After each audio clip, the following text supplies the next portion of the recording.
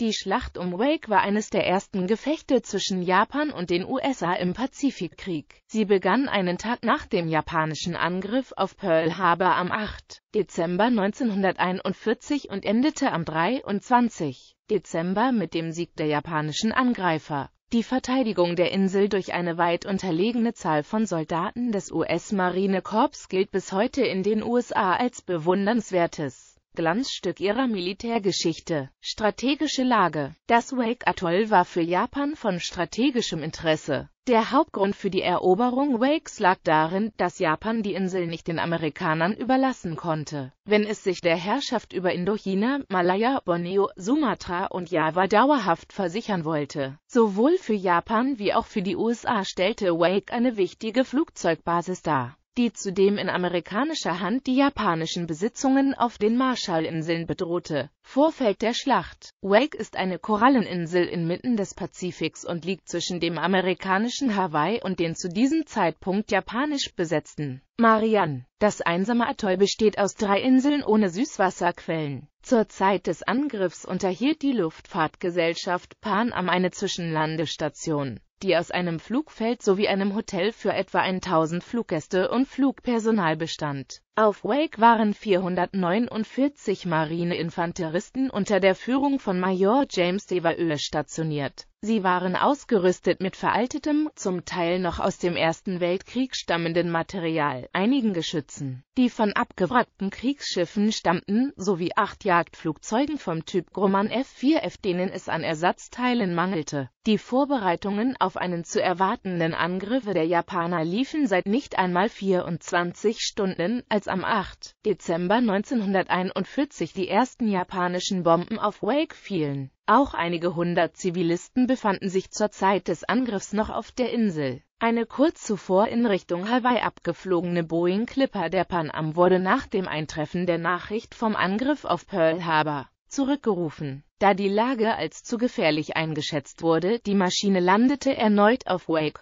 Vorbereitende Luftangriffe zur Mittagszeit des 8. Dezember stießen 34 japanische Bomber vom Typ G3M2 aus der Wolkendecke. Innerhalb von Minuten wurden das Pan am Hotel, die Treibstofftanks des Flugfeldes sowie vier der acht Jagdflugzeuge zerstört. Der vollgetankte Clipper der Pan Am blieb intakt und verließ Wake noch am gleichen Tag voll besetzt in Richtung Midway. Zur gleichen Zeit des nächsten Tages folgte ein weiterer Angriff durch 27 von den Marshall-Inseln aus gestartete Bomber, die das Lazarett, Werkstätten sowie weitere Treibstoffvorräte in Brand setzen. Den Verteidigern gelang kein Abschuss. Etwa 100 Zivilisten aus dem Pan am Hotel boten zu diesem Zeitpunkt ihre Hilfe bei der Verteidigung der Insel an. Mit ihrer Hilfe gelang es die Küstengeschütze und Flugabwehrstellungen bis zum nächsten Angriff am folgenden Tag zu verlegen und durch Attrappen zu ersetzen. Der Angriff am Vormittag des 10. Dezembers durch 26 Bomber zielte dann auch tatsächlich auf die alten Stellungen ab und die Attrappen wurden heftigen Bombardements ausgesetzt. Angriff der japanischen Flotte. Gegen Abend wurden schließlich von einem amerikanischen U-Boot nahende japanische Kriegsschiffe gesichtet und die Wachmannschaften auf Wake entsprechend verstärkt. Die japanische Angriffsflotte unter Konteradmiral Kaioka Sadamichi bestand aus drei leichten Kreuzern, sechs Zerstörern, zwei bewaffneten Frachtern sowie zwei Patrouillenbooten. Ihr Angriffsplan sah vor, zunächst die Insel durch Artillerie unter Beschuss zu nehmen, dann 450 Männer mit den Landungsbooten auf der Hauptinsel Wake sowie Wilkes Island anzulanden und schließlich, je nach Erfolg des Unternehmens, weitere Soldaten von den Schiffen auf dem Atoll abzusetzen. Es galt als sicher, dass die vorangegangenen Bombardements eine Verteidigung der Insel unmöglich gemacht hatten und dass mit einer schnellen Kapitulation der Marineinfanteristen zu rechnen sei. So war die japanische Führung überrascht, als ihnen im Morgengrauen des 11. Dezembers heftiger Widerstand entgegenschlug, als sie sich bereits in nächster Nähe zur Küste der Insel befanden. Den Verteidigern gelang es, einen Zerstörer zu versenken und drei weitere Kriegsschiffe schwer zu beschädigen. Zudem kenterten Landungsboote in der Rauen See. Admiral Kaioka gab den Befehl zum Rückzug aufs offene Meer. Am frühen Morgen griffen die vier amerikanischen Kampfflugzeuge den Verband an. Sie warfen im Rotations-Verfahren ihre 50 kg Bomben ab, kehrten zum Flugfeld zurück, um aufzutanken und neue Bomben zu laden, und griffen erneut an. Auf diese Weise versenkten sie einen weiteren Zerstörer und beschädigten einen der Kreuzer sowie einen bewaffneten Frachter schwer. Zwei der Maschinen wurden beschädigt, konnten jedoch zum Flugfeld zurückkehren. Die verbleibenden zwei F-4F beteiligten sich auch an der Abwehr von 17 japanischen Bombern, die herbeigerufen worden waren, um die Küstengeschütze endgültig zu vernichten. Die Bomben verfehlten ihre Ziele, und durch Flak sowie die beiden Kampfflugzeuge wurden zwei von ihnen abgeschossen und weitere beschädigt. Die Verteidiger hatten den Japanern hohe Verluste zugefügt. Tatsächlich handelte es sich bei diesem japanischen Angriff um die einzige Amphibien-Operation des gesamten Pazifikkrieges, die fehlschlug.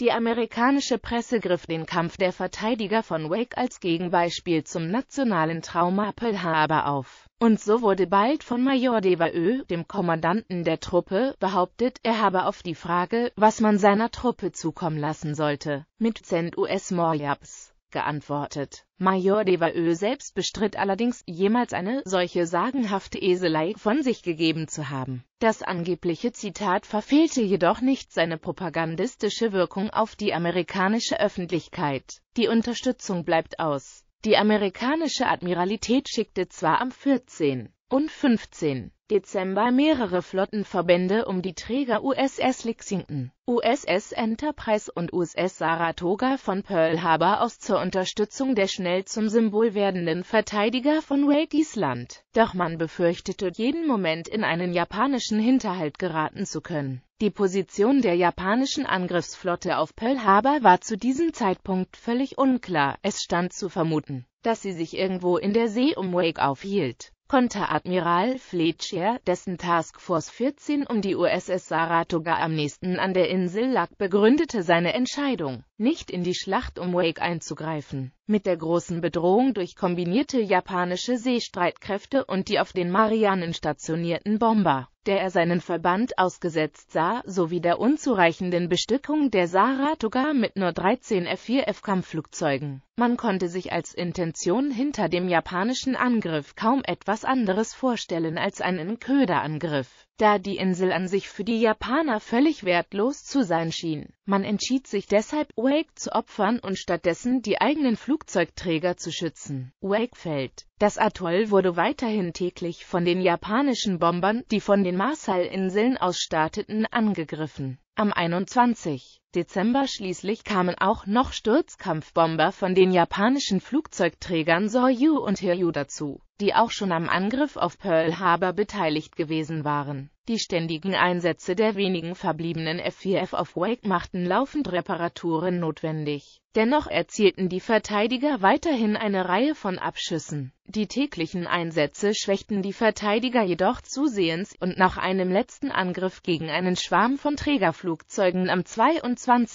Dezember war keine der Maschinen mehr einsatzfähig. In der Nacht zum 23. Dezember schließlich landeten die japanischen Truppen im Südwesten der Hauptinsel und auf Wilkes Island. Die Verteidigungstruppen, unter ihnen auch diverse Zivilisten, die als Munitionsträger und Kombattanten an den Kämpfen teilnahmen, konnten den japanischen Angriff sogar noch abwehren sowie einige der beteiligten Schiffe beschädigen. Jedoch stellte sich nach dem Angriff bald heraus dass alle verfügbaren schweren Geschütze durch Feindbeschuss unbrauchbar geworden waren und dass den verbleibenden Kämpfern nur noch ihre Gewehre sowie einige leichte Maschinengewehre geblieben waren, um die andauernden Angriffe durch Kriegsschiffe und Flugzeuge sowie die auf Wilkes Island verbliebenen japanischen Landungstruppen abzuwehren. Um 13.30 Uhr des 23. Dezembers kapitulierte Major Devaeux schließlich. Nach der Kapitulation die überlebenden Marineinfanteristen sowie ein Großteil der Zivilisten gerieten in Kriegsgefangenschaft und wurden in Kriegsgefangenenlager auf dem Festland verschifft. Etwa 100 Zivilisten verblieben jedoch auf Wake Island und wurden dort am 7. Oktober 1943 getötet, weil sie angeblich versucht hatten, mit der amerikanischen Marine in Kontakt zu treten. Der verantwortliche japanische Offizier auf Wake Island, Konteradmiral Shigematsu Sakaibara, wurde für diese Tat später als Kriegsverbrecher hingerichtet. Am 7. September 1945 kapitulierte Wake unter seiner Führung. Filme Wake Island Spielfilm USA 1942 Regie John Farrow Schauspieler Robert Preston Brian Donlevy McDonald Carey U.R.